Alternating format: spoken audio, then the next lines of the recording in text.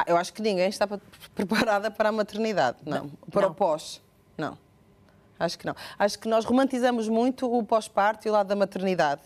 Ahm, e se calhar quando eu falei sobre o... Fofinho, minha chinesinha, a era mesmo chinesinha.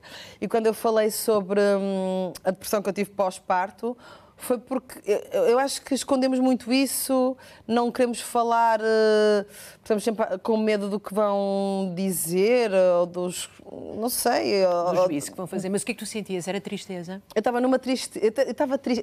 tri- Sentia-me triste, chorava muito e, e já não conseguia ver as pessoas à minha volta.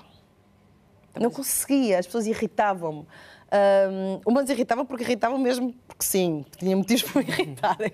Não, mas hum, de repente não tens paciência, estás.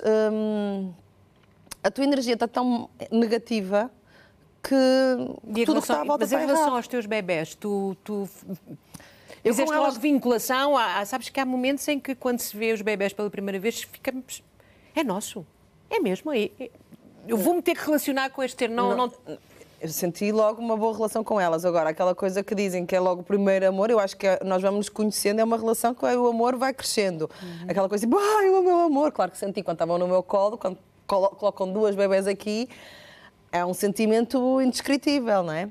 Mas acho que é um amor que vai crescendo e muitas mulheres também se censuram por causa disso. Exatamente. Os homens falam mais sobre isso porque às vezes acontece, como é óbvio, vão, vão se apaixonando pelos bebés e também não estão grávidos. uh, às vezes falam mais sobre isso de é um, um amor que depois vão- vai aumentando. E eu acredito que é um amor que aumenta todos os dias e sinto que no primeiro impacto, ok, as minhas, são minhas filhas, gosto muito de vocês, mas isto agora ainda vai começar a. Estamos a conhecer.